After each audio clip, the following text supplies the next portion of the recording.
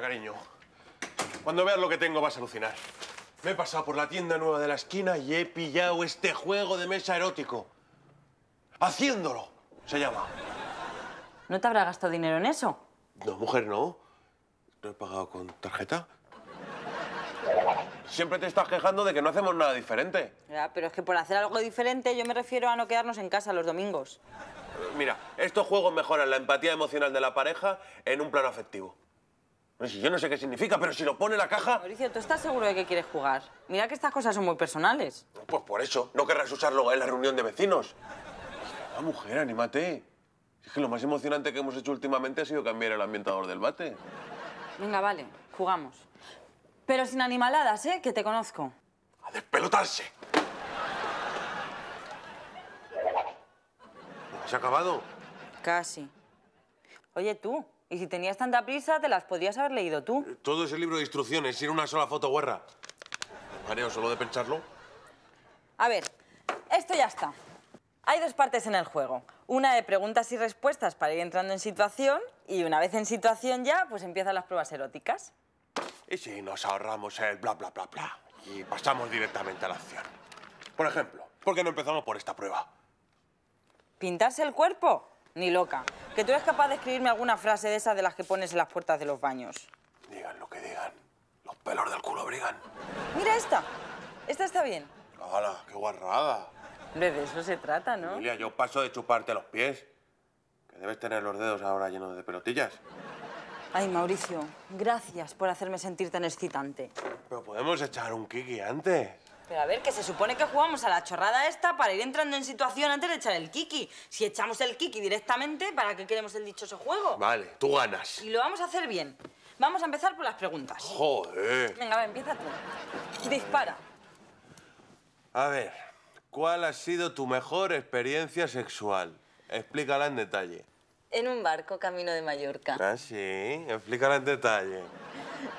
Un momento. Pues si yo nunca he estado en Mallorca. Ya, es que no fue contigo. Vale, pues no me expliquen nada. Chico, tú me has preguntado por mi mejor experiencia sexual. Puta sinceridad. ¿Por qué no nos dejamos de preguntitas y pasamos directamente al juego? Y dale, que eso es de la segunda parte. Como sigamos así, no vamos a pasar ni de la primera. Mauricio, que te he dicho que no tenemos cartas de póker en casa. Bueno, pero para hacer la prueba del street poker necesitaremos una baraja de póker. Digo yo. La cosa es ir quitándose la ropa, ¿no? Pues ya está, yo me la quito y listos. No, no, no, no, no, no, no, no, no. Para eso no hace falta comprar este puto juego. Bueno, Mauricio, pues no tenemos cartas de póker. Además, yo es que no sé jugar al póker y ya me estoy hartando el jueguecito este de los... Siguiente prueba. Llego a saber, me compro el puzzle en relieve de Pamela Anderson.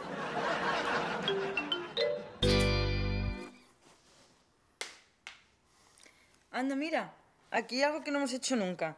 Jugar con la comida en plan erótico. ¿Eso tiene buena pinta? Sabía que te gustaría. Sexo y comida al mismo tiempo. La ilusión de tu vida, vamos. Buah, eso lo gordo. Tú, estírate en el sofá y cierra los ojos, pequeña. Vas a ver qué morbazo. Bueno, bueno.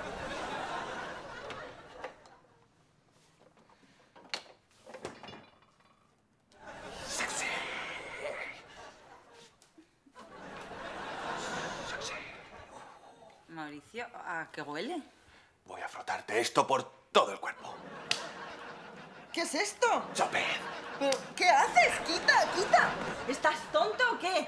A ver, aquí dice, extiende yogur por todo su cuerpo para lamerlo suavemente después. Claro. ¿Y qué quieres? ¿Que manche el sofá y cortarte el rollo? No, no. Romanticismo, Mauricio. ¿A ti te suena que usaran chopet en nueve semanas y media? No vale. Coger el yogur, pero si se mancha el sofá, yo no quiero saber nada, ¿eh? ¿Te encuentras mejor?